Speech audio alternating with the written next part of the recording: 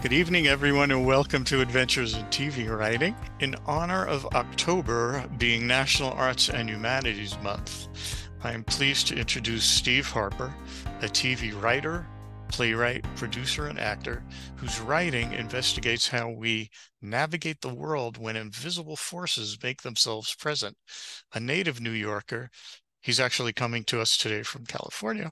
Steve has lived in Los Angeles since 2010 and is a co executive producer of Tracker, an upcoming new series for CBS, CBS scheduled to premiere in 2024. Other TV writing includes uh, DC's Stargirl, uh, CW Network, God Friended Me, CBS, Tell Me Your Secrets, Amazon Prime, American Crime, ABC, and Covert Affairs USA. So I'm not going to go into your entire background, Steve, but I thought, hey, as a backgrounder, you've done so many things uh, in yeah. entertainment from acting to writing to producing a TV, stage, film, and plus you have your own coaching and consulting practice for writers, for actors. Can you fill me in a little bit about your history? uh, yeah, you know, one of the things I say, I, I do a lot of things, of course, and I, I sometimes I say that and a Metro card will get me across town. You know, so so uh, you're modest. Yeah. uh, you know, and I'm super happy to be doing what I'm doing now. Like TV is a blast to create and uh, i entered the entertainment industry as an actor and that was uh, that was originally my uh, my go-to my vision my dream and uh, and i ended up um, you know feeling like i wanted to create more stuff for me to do i, I thought that the, the the roles that i was doing i was interested in more different uh, and and so I started writing, became a playwright, and went to you know I went to drama school as an actor, then went to playwriting school. And when I first got an agent after playwriting school, one of the first things that the agent said to me was, "Are you interested in television?" And you know I've always been a television head. Like I grew up in a household where we just watched a ton of TV, and uh, and the uh, the idea of you know you can you know, I love the work that I do as a playwright, but when you create something for television, millions of people see it. And there's nothing like that. You know, not only all across the United States, but all across the world have seen and are seeing the things I've created for television. So it's like it's a huge canvas for storytelling that I think on some level is is unparalleled and you know just an amazing opportunity to to be one of the people who gets to do what I get to do for a living. Wow, yeah. When millions of people see it, kind of influences the culture.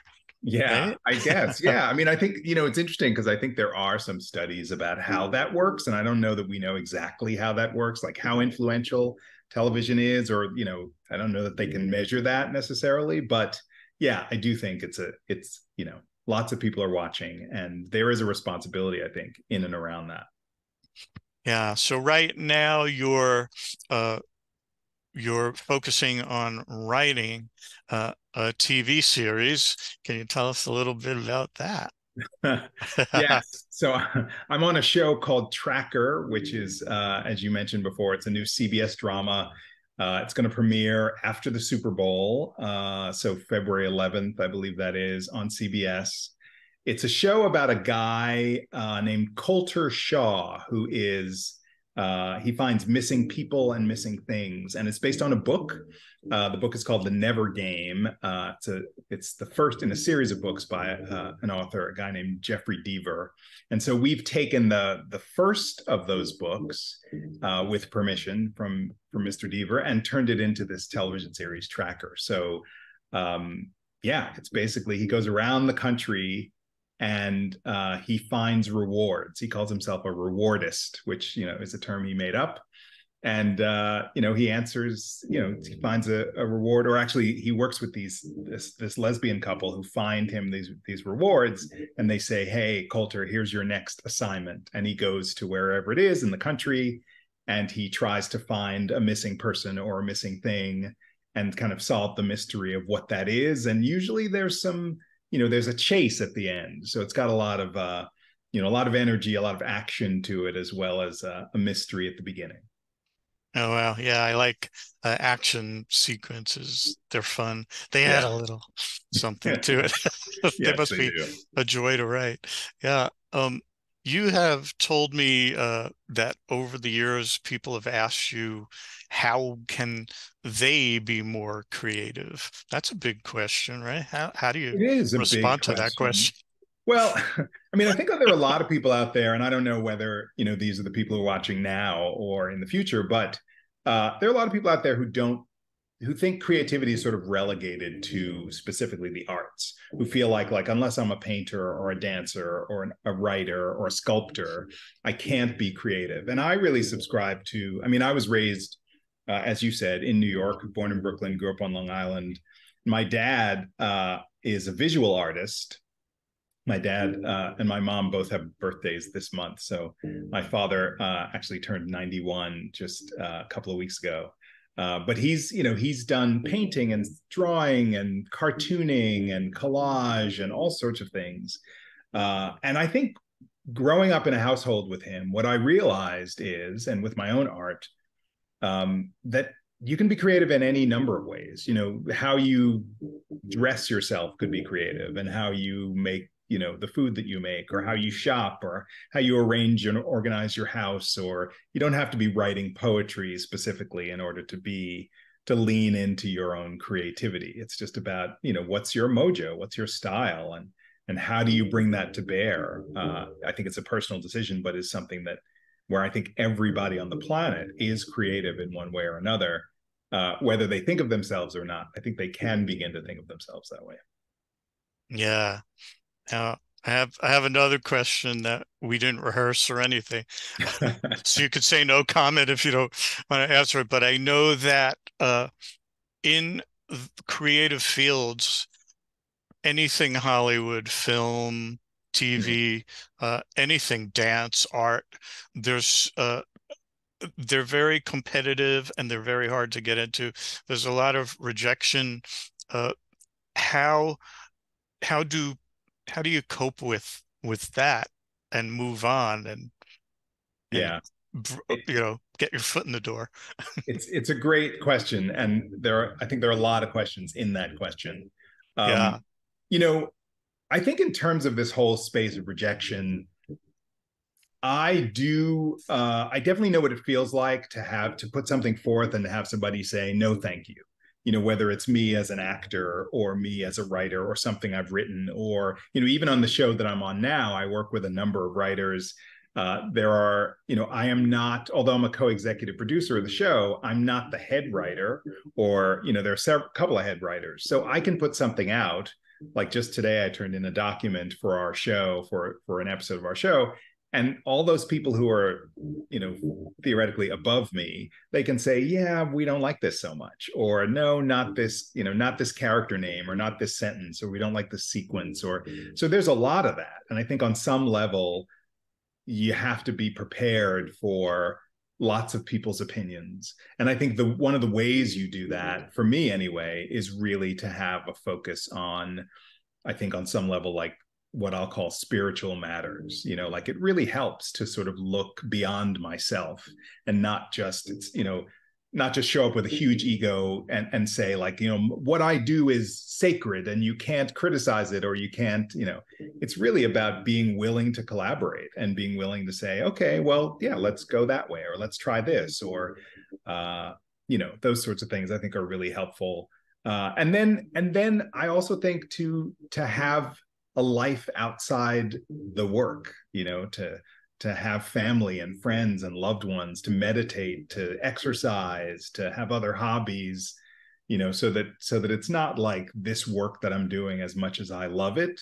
It's not the end all be all. It's just it's one thing that i do. It doesn't represent everything. And you know so you learn to kind of cultivate both a thick skin and some sort of practice to kind of allow yourself to I think, to move through the difficult times and all of the opinions that you're bound to encounter along the way. Yeah, and uh, that's what coming of age is all about. Is you know, have hobbies, um, travel, do things that you love. Um, mm.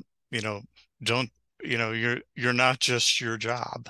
you know and yeah. after after you stop working you're you're not just what you did for a living you can have you know you can engage in so many aspects of of life positive aging so another big question how can people create a script on their own is that a possibility can it be done solo to write a play a tv show pilot Yes, you... 100%. yeah, I mean, there, there, there's a certain amount of that that you know that uh, involves a little bit of technical expertise. I mean, you have to know about dramatic structure. You have to know about you know how do I create a character or how do I write mm-hmm. good dialogue or you know what's the format for a mm-hmm. play as opposed to a screenplay as opposed to a you know mm-hmm. television script or you know or a poem or a novel. So i think on some level it it definitely pays for all of us to either study the form, whether it's on YouTube or in a class or you know reading a book, you can do all that. But then I think the fundamentals really about creating anything is really for me like a bite size um you know step by step methodology you know i think there are lots of people who imagine for writers that you really need to write like six hours a day, eight hours a day. You know, I got to be Hemingway. I've got to, you know, show up the way he did, or you know, name your famous writer person. But I don't really believe in that. What I believe in is like chipping away. So five minutes a day is good. If you want to start writing and sit down, set a timer for five minutes, you'll create something, you know, or 15 minutes, or 10 minutes, or 30 minutes. You know find a way to create a habit just like anything else that allows you to get into a groove and just begin to explore what's coming out of you. Like what does it want to say? What do you want to say? What is it a story? Is it a memoir? Is it a you know i think that's the most important thing i think is to show up is to find the discipline. And then all that other stuff you know the structure stuff the all of that stuff i think can be learned yeah, and because there's different formats for different types of scripts, uh, then you can. I I would have asked you what are some of the stuff you could take to to write the script from idea to finished script, but I, I would think because of the different formats, uh, there isn't one specific formula. There are lots of them. Yes, I do think um, that in most cases, certainly with most dramatic things, with and with plays as well as TV, there is the notion that we know, like you know, from when we were children, like there's beginning, middle, and end. So that's basic dramatic structure. Is like what what stuff goes in the beginning, you know, like and what goes in the middle and what goes in the end. The middle is usually full of conflict you know? So that's where the juicy stuff happens where the, the character is like bouncing up against whatever they're bouncing up against. Uh, and that first part that beginning is really the setup for whatever that action or that conflict piece is. And the end is really you know where you sort of look toward the resolution where it's all going to sort of resolve in some way shape or form. Uh, and so i think we all have to bring that sort of consciousness into our writing and say okay well I got to ramp up. I got to get into the conflict and I got to, you know, cool down. So how do I do that? You know, and how many pages, you know, how many pages do I need to do that? And I think that's obviously different in a 10 minute play than in a, you know, than a in a 500 page novel, but everything has that beginning, middle and end to it. Yeah, I remember in high school creative writing, we learned that there has to be the crescendo the the the the climax and then you know and then it goes down to the denouement which was the resolution. Yes yes. Yeah well i think all of those terms yeah. are valuable and useful and and it's also you know we can use that kind of terminology but we can also just say okay what's my beginning? What's my middle? What's my end? And what yeah. feels right to me. I mean that's one of the things that i think is really juicy about you know mm-hmm. us as people like we live for stories whether it's our neighbor telling mm-hmm. us oh my god did you see what happened with the mm-hmm. you know with the, the garbage man yesterday? Or whether it's you know watching television or a soap opera or a movie or reading a book like we all have a sense on some level of what a good story is and feels like for us. So i think we're just reaching for that. Like what what is the satisfying thing based on all the stories that i've heard stories that i've told the stories that i like I think we know more than we think we know. Yeah. And as a writer and one of the producers is uh, my question would be how is a television show created, accepted, and then run? And does it vary by production? Like you're in a production house or or some yeah. such? I mean, everything and I think you know everybody sort of understands this intuitively. Everything depends on who's running it. So so mm-hmm. I'm going to give you like a basic structure of how it works, which is I think pretty much true all the time. And at the same time, everything depends on who's the head person in charge like you know and because everybody will have their their style about whether they run things gently or whether they want to do things fast or slow or mm-hmm. how they assign things or what their personality or energy or the tone of the writers room is. Mm-hmm. But essentially what we do is and it can be really fun is you know we'll come in let's say there are there are 10 of us i think on the show that i'm on now mm-hmm. and we'll come in and the the head writer uh you know which we call in in our business the showrunner. And actually on our show we have more than one we have two showrunners one of them will come in with an idea or will solicit ideas from us like overnight or the day before or whatever. And we'll come in and that person will say okay we're going to do this story. Uh, let's say it's the wedding episode of whatever our series is. And so uh, that showrunner will have some ideas. You know they'll say it's the wedding episode you know we want them to get married at the end but then there's probably going to be uh, we'd love to see a fight between the couple and maybe they won't get married. And there's this thing we need to service all these other characters that we have on a regular basis. Uh, and so we know these you know three five six eight things. And then as a group we just start to brainstorm you know we'll say oh what happens if such and such? or oh i can really imagine blah blah blah. There might be a scene where this happens that resonates with this character's backstory and we just start throwing ideas in. We have a person in our writers room who's not a writer but is uh, is called the writer's assistant. Uh, and that person may or may not be a writer sort of in their normal life but for us they're basically like a court stenographer and they just type away. So everything that we say gets recorded by this person. So that person is uh, writing down every pitch, every suggestion, every idea, every nuance. And then at some point, the showrunner will say, Great, I like these, you know, and usually we might be looking at a board, either electronically or we might be in an actual room where we've written things on a big whiteboard. And the showrunner will say, Great, I like these 20 things, or these six things, or these 10 things. And so we get rid of all the other things and then we begin to build a story an episode with those 10 things. So then the question becomes okay where where do these things happen? What happens first? What you know go back to that beginning middle and end kind of thing. Uh, and we just start again as a group. We just it's almost like not exactly like uh, you know it's like an, an improv game where we're all suggesting oh that this scene could be really great here. And then maybe we could you know and we just start to build it together. And sometimes i think if we're if you're doing well if you're functioning well that could take like a week or sometimes two weeks depending on how difficult the story is. Um, so we just keep building and building. If it's a show like tracker that's on a network then we're very aware of the commercial breaks mm-hmm. you know and and every chunk before a commercial break we call an act. So on tracker for example we have a teaser and four acts.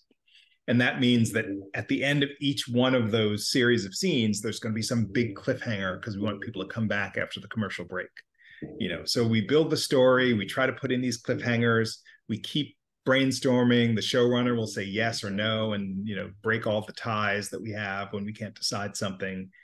And then that writer that showrunner will either go off and write he'll be writing the episode you know he he or she or they will be writing the episode themselves or they'll kick it to another writer. They'll say jeff this is your episode. And then you go off and write you know, a, there's a short story, the very short version called uh, the story area that is somewhere between one and three pages that gives uh, the powers that be, which in in our case is the network, which is CBS, which will air our show. And then there's the studio, which is an entity that basically pays for the show. They're sort of the money people. And for us, the studio is 20th Century Fox Television and the network is CBS. So both of those entities get to chime in on what we do. So you would write like a three page story area, we'd send it to the studio and the network, and they would comment and give notes. and then you change it and then uh, when the showrunner's happy with it then and those entities are happy with it you go off to outline and then you're going to write another longer version maybe now 10 pages or 15 pages that goes scene by scene. This happens this happens. It's just like a short story version. Uh, and then after the studio and the network chime in on that then uh, and the showrunner's happy with it and everybody's happy with it then they're going to send you off to script. And you're going to take that 15 page outline and you're going to turn it into say a 45 page script uh, where you'll actually flesh out those scenes and you'll put in jokes and you'll put in character descriptions and scene descriptions and all that stuff. And then the same process once you're done you give it to the showrunner he might he or she might they might tweak it and then send it to the studio and they'll give comments send it to the network and they'll give comments. And when everybody signs off on it uh, then it becomes a production draft and it goes to the director and the actors and the costumers and the set decorator people and all those people and they start to do and collect and build all the things you need to make the episode that you wrote uh, that's essentially how it works. Yeah, well, I noticed that. Oh, do you have any? Do you have any uh, uh, episodes that you're at this point writing? Uh, yes. Well, just today, uh, we're um, so our show tracker. We had written a bunch of stuff before the writer's strike, so we started actually working in January, and and in May the WGA went on strike, as as I'm sure everybody knows. Uh, and by that time, we had written four scripts. We had a outline for episode five. We had a story area for episode six, and we were currently working on episode seven, which we call breaking an episode. We, so we were breaking episode seven. Um, yeah. So when we came back just recently in the past couple of weeks, the network and studio have decided to go in a different direction with our show. So we've actually scrapped everything that we had created. Wow. January and May. Yeah. And we're starting over. So so the pilot has already been written and filmed. We've all seen it. It's fantastic. The second episode we rebroke in like a week which is pretty amazing and is being written now by uh, actually a group of writers and uh, and I am uh, I'm basically the person in charge of the third episode. So just today, uh, based on this new idea that we sort of came up with overnight, uh, I wrote my story area document just today and sent it off to. Uh, once it was approved by my showrunners, it went off to the studio for them to approve it. So yeah, so that's so we're working on that right now.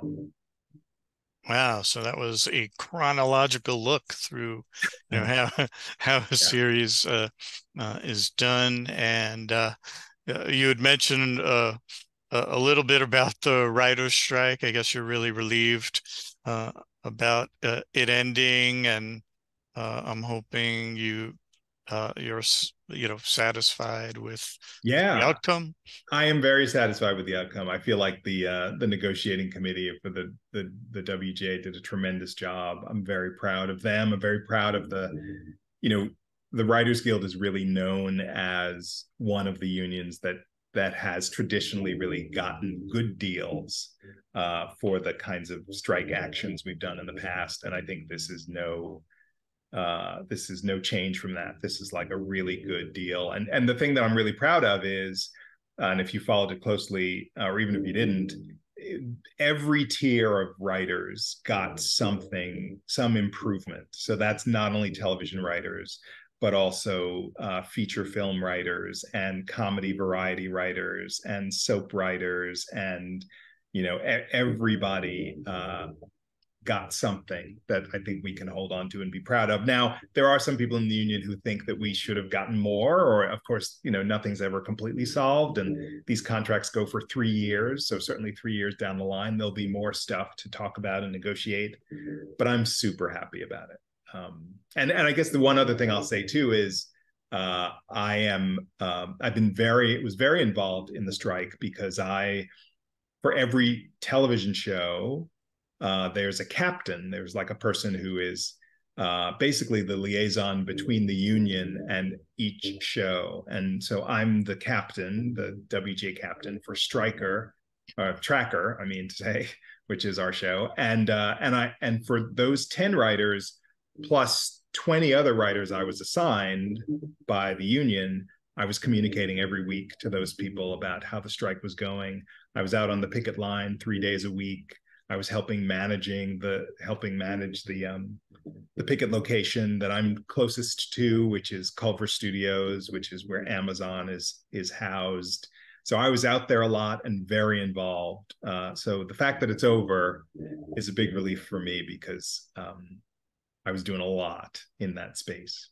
Wow, I haven't been following it, but I know the the actors are still on strike. Yes, the actors yeah. are still on strike. They are either hitting or about to hit day 100 of them being out there. Uh, I'm also part of that union, so I'm watching that very closely. And uh, unfortunately, because of the work that I'm doing uh, on our show, I'm not able to go out there and picket with them. But I'm I'm absolutely with them and in spirit. And and the other thing is like we can't do anything as TV writers without the actors. So we're writing stuff, but you know we can't film anything obviously until the the SAG-AFTRA, SAG-AFTRA and the AMPTP have settled because we need actors to to do our stuff, to say our words and all that. Well, that's interesting. And you know who they are, they're already been cast. Most yes, of them, the, I guess. Yes, the the the leads of our show. There are four four regular characters, and those people have all been cast.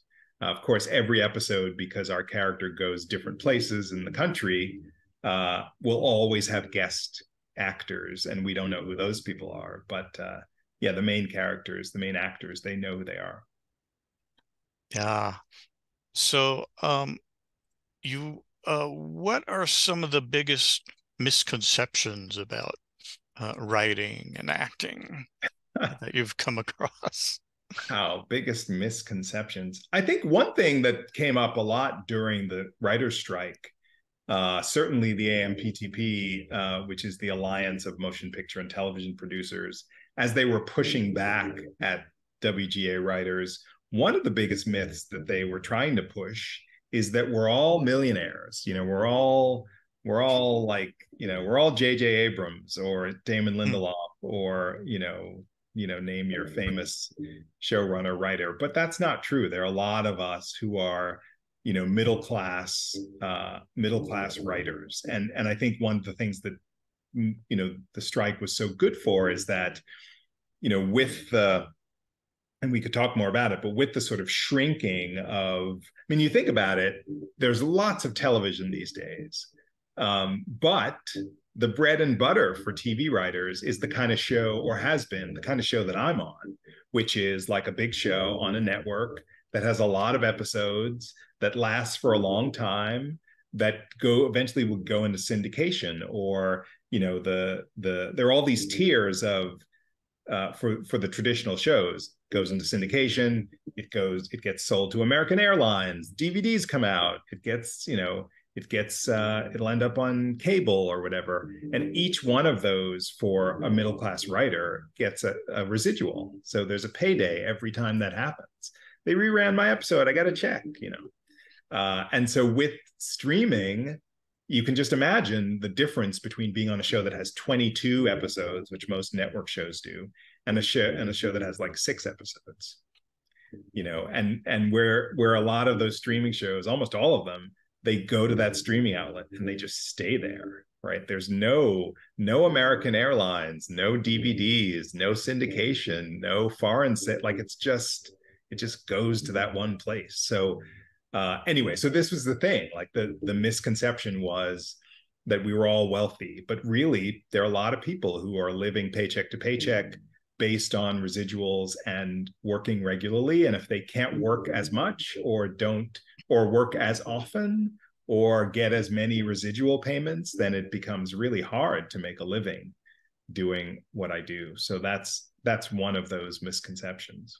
Yeah, and the union wasn't paying everyone's salary when they were striking, right? They no, you were I mean, yeah. There's there's a you know there there was a strike fund that you could apply for if you were mm-hmm. Dealing with financial hardship and you could say you know here's what i need and how and then a, a, committee of people on the other side would look at those applications and see what they could do. But those those things were limited and yeah it was a really really stressful time for for a lot of writers uh, who you know whatever had to get other jobs or uh, you know sold their homes moved away. All sorts of things happened to writers i know during that period. Wow well, moving back earlier, uh, not in your career, it could have been uh, pretty recent, but what was that uh, you've been involved in pitching uh, shows. Yes. And uh, what is it like to uh, to to pitch uh, ideas for a brand new program? What's that process like? Yeah, and what are that... the odds of, of being accepted? yeah, the odds are slim. Uh, I couldn't really tell you statistically and get that accurate, but um, it's challenging because if you think about it, you know, if you think about your favorite show, whatever your favorite show is, if you have one, you've built this relationship with it over years and years, hopefully, you know, if the show's been around that long. And you know all these ins and outs and nuances of all these characters and these mm-hmm. storylines and, you know, whatever the adventures are. And there's a certain place that that lives in your heart. So just imagine, if you would, that you're giving birth to that show and you've got all of those thoughts about those characters and those circumstances, but nobody else has seen it yet. You know, it's kind of like, if you were to land on Mars and have to explain uh, every episode of Cheers or what Cheers is like to people who don't know what Cheers is or was.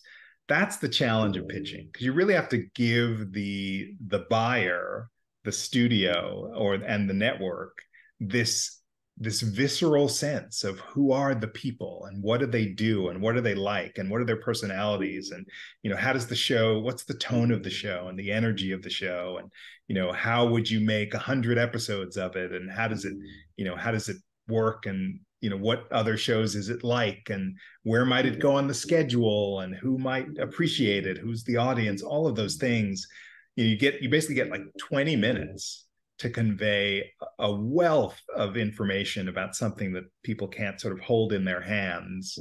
Uh, so it, it's tricky, uh, but you have, but you managed to do it. We managed to do it with good storytelling, maybe a you know PowerPoint or pitch deck that we have. If it's in person, we might bring props. You know, we might sort of hold up like you know, here's the world, and you know, it's a sci-fi show, and so just imagine you know, you sort of do all sorts of things. You might bring in pictures or big charts, or you might show a little a little uh, clip of something or any number of things. Uh, so it's it's a it's a challenge, and yet it can be really exciting to figure out how do I get people to imagine this thing uh, when they've never seen it and it's only existed in my brain. And those people are executives. Yes. And so, yes. yeah. yeah. So these people are in the world of television, in the world of uh, both networks and studios. There are there are a lot of different types of people but essentially on the on the buying end the people you're pitching to there are development executives and there are current executives. So the development executives are trying to develop brand new shows and learn about brand new writers and like oh what's the next thing that we can bring to our network or our streaming service?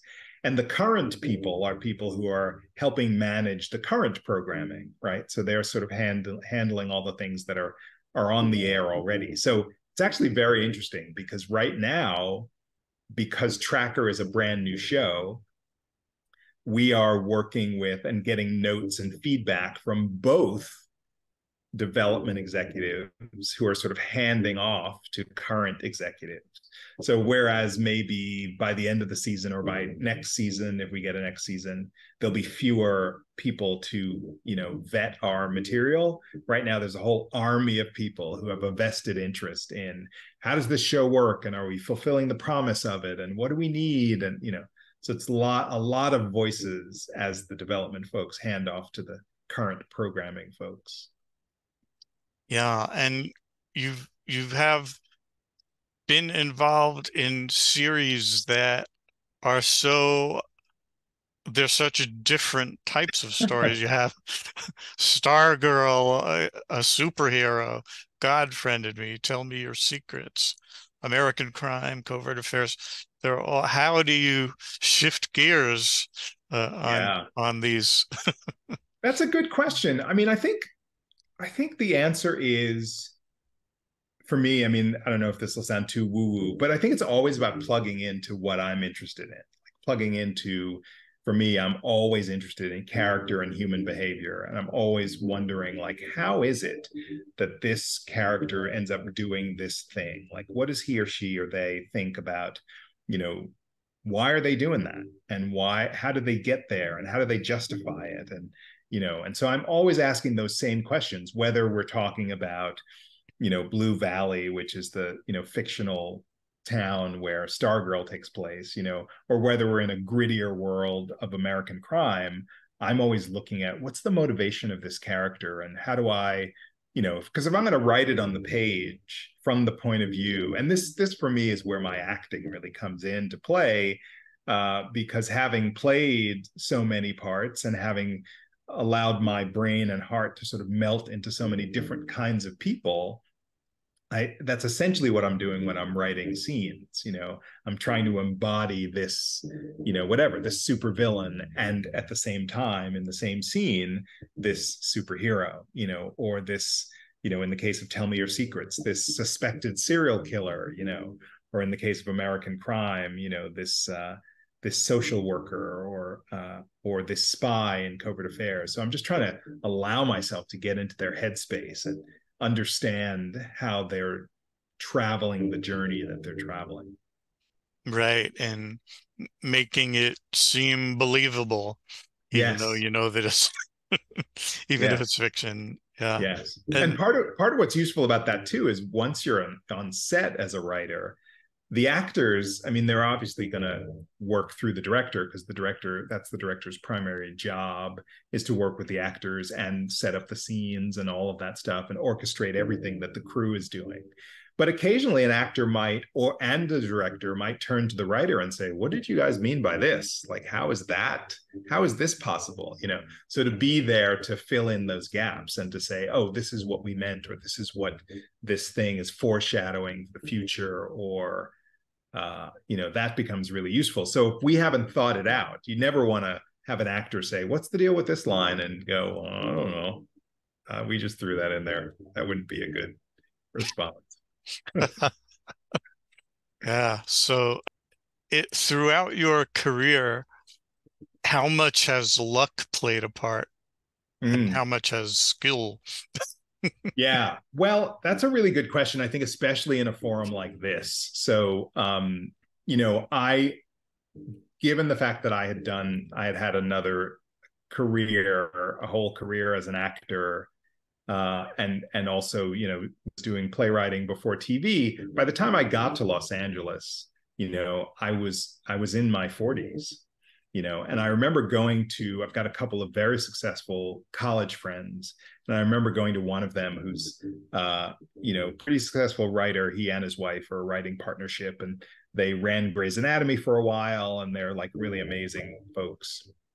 Uh but in any case i asked him i said am i too old for this? You know because i felt like you know, ageism exists certainly in Hollywood, and I wanted to know whether or not it was a liability for me to show up at my, you know, advanced age and be uh, looking for TV work. And he said the most interesting thing, which I think is really relevant. He said, and I say this to people all the time. He said, "Look, as a showrunner, I'm going to have the opportunity to uh, TV is a very hierarchical game, I should say. So there's, you know, the lowest level of TV writer is called the staff writer. And oddly enough, it's the only level that has the word writer in it. Uh, so, so all of the, the hierarchy goes staff writer, story editor, executive story editor, uh, co-producer, producer, supervising producer, uh, co-executive producer, executive producer. So there's this very long hierarchy.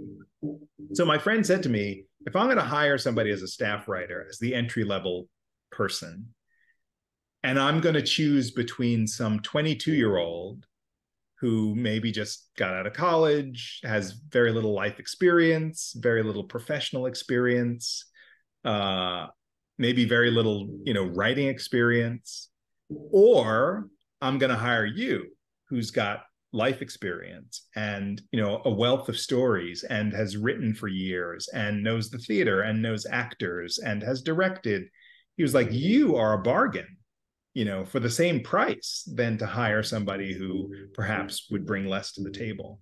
So i think there's always luck involved.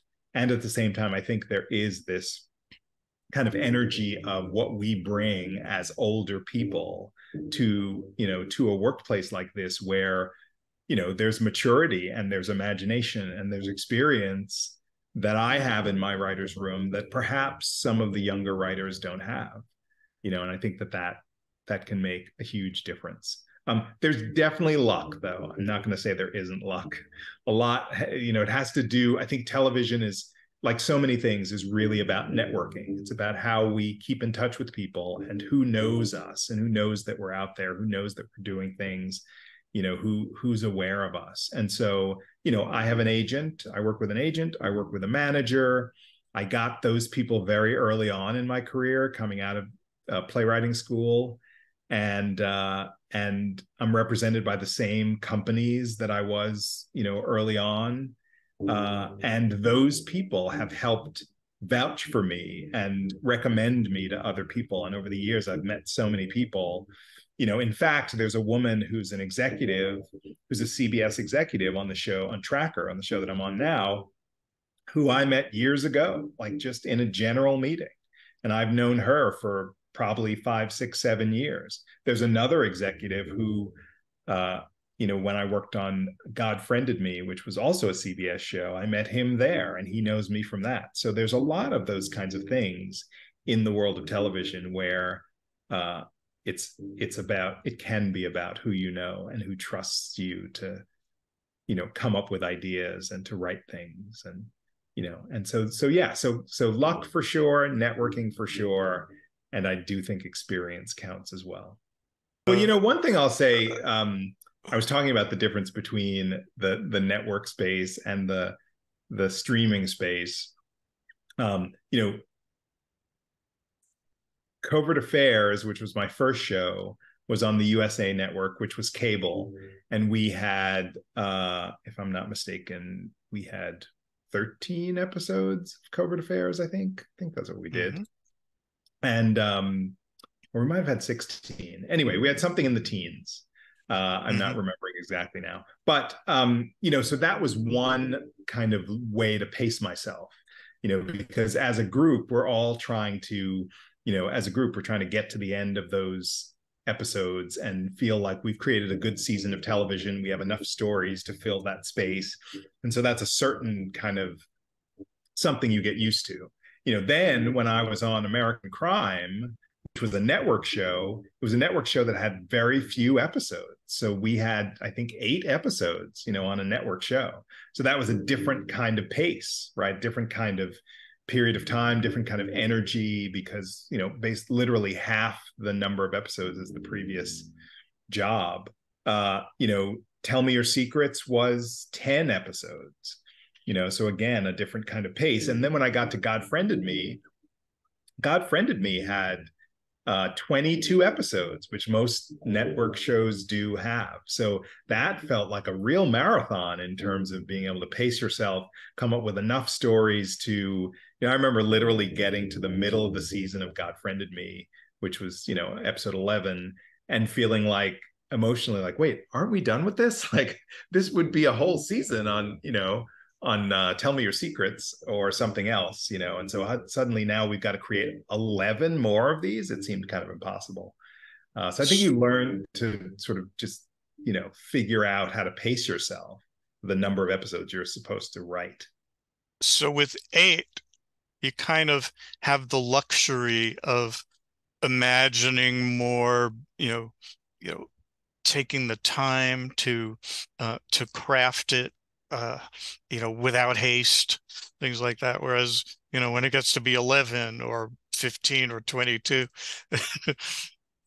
yeah. I mean, the other thing quicker. too, Yeah, the other Yeah. thing too about most network shows is that network shows uh we get a point on a network show where we have written episodes and they start filming episodes. So you there's a lot you learn when they're filming episodes and you're mm-hmm. still writing.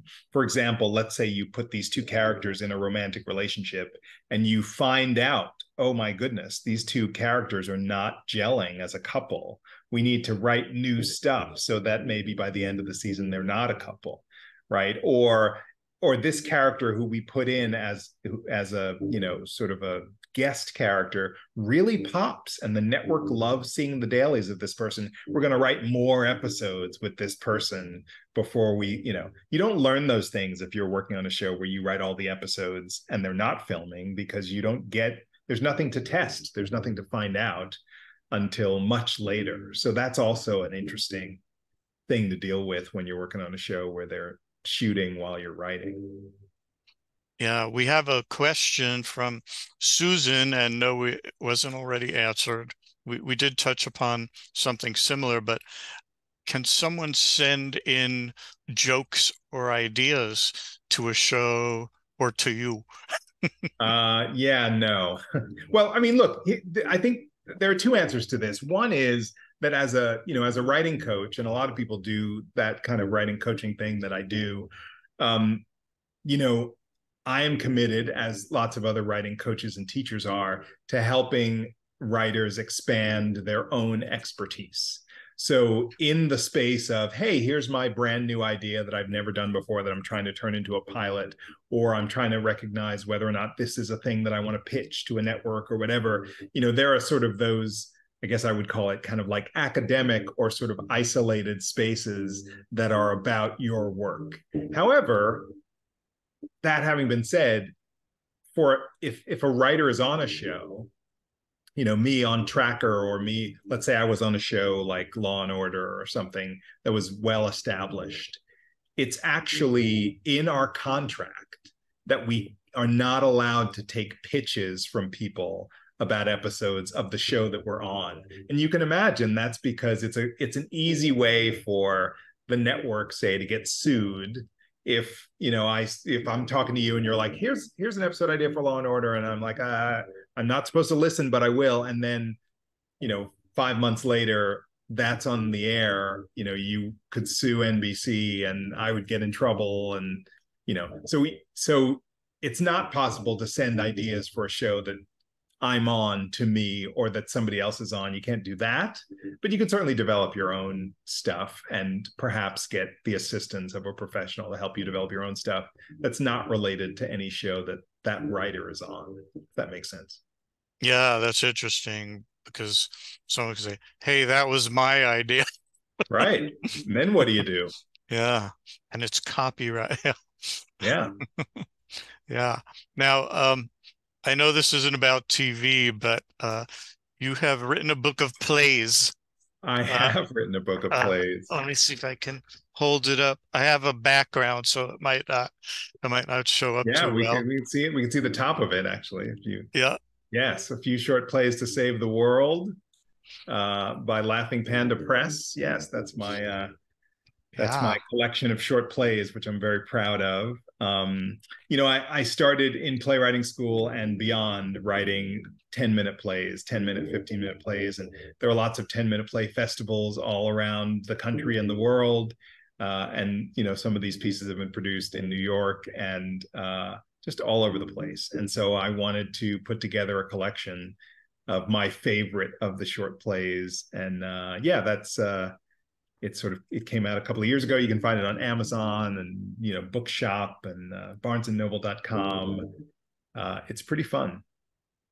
Yeah what so you didn't write it from scratch. These were plays that have actually been uh been produced a lot of them? Yes uh, most yeah. of them have been produced yeah. Mm-hmm. and you know the collection is called a few short plays to save the world and i remember being on a plane I don't know how long ago, five or six years ago, thinking, oh, I do eventually want to publish this collection of my short plays.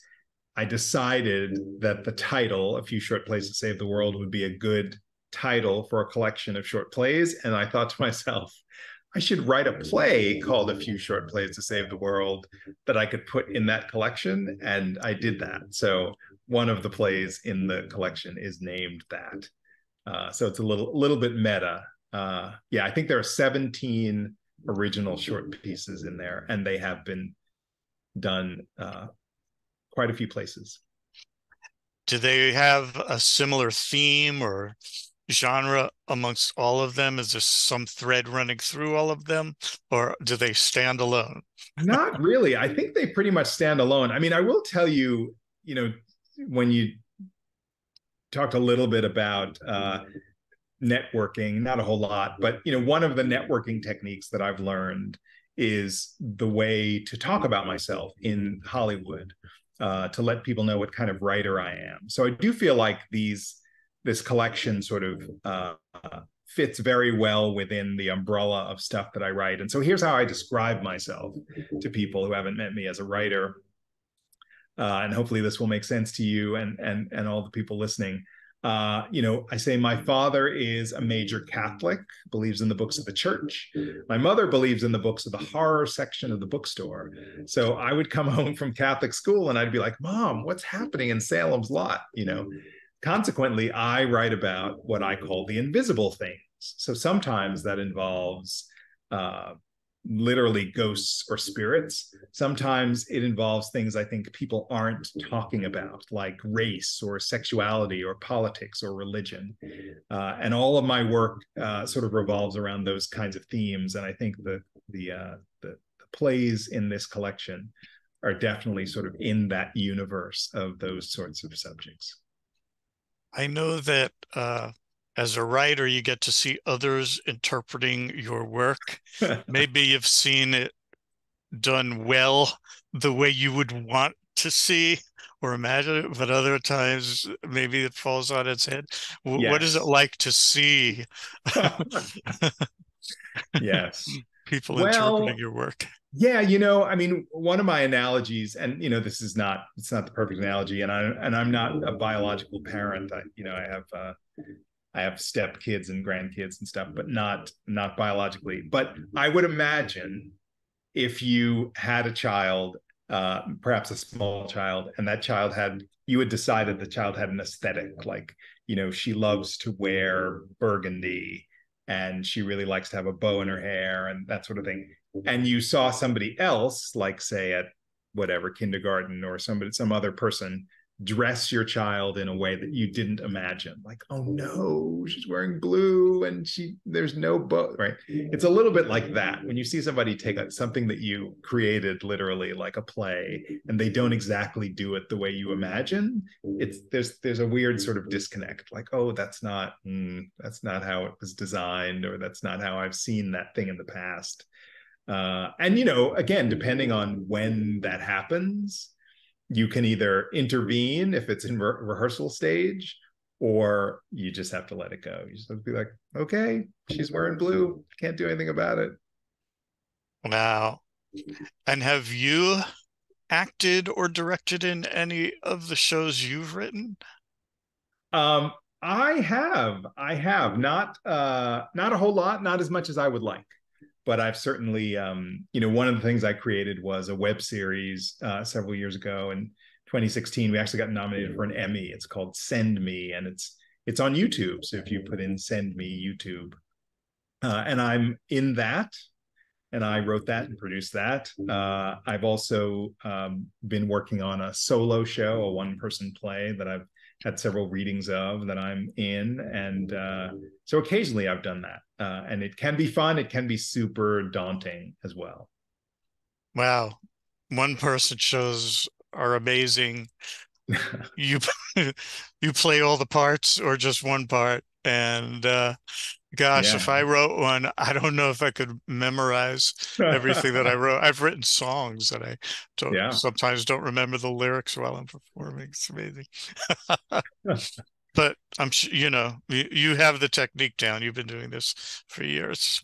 Yeah. Um, so w- what is, I guess, in the few moments we have left, what's next for you? What's the most important thing you want to concentrate on in the months ahead? Yeah. Maybe well, the beyond. the thing I'm really excited about is Tracker. You know, I'm really, uh, I have been on one other brand new show, and that was Tell Me Your Secrets, which, you know, is a very strange, if you haven't seen it, uh, it's a very strange uh, sort of female centered serial killer drama on that's on Amazon that we wrote actually for TNT. Uh, but I'm curious to see. I have not been on a brand new network show ever. So I'm really excited to see how not only how we develop and continue writing Tracker, but also how people respond to it. I'm really looking forward to finally having an audience when February comes around and seeing how both critics and regular people uh, respond to this character, this circumstance, and the scripts that we're creating.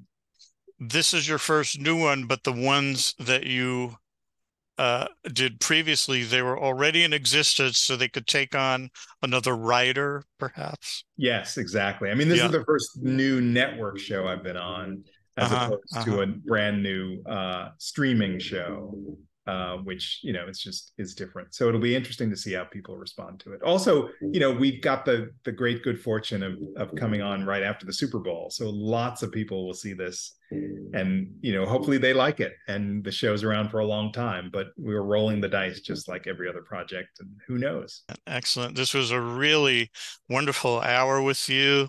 Uh, really we fun, really we really filled that hour and renee said uh, that uh, listening to has been informative and delightful. Thank you for sharing your knowledge and experience, which which I echo. Uh, better than watching old episodes of Dick Van Dyke, still one of my favorite shows.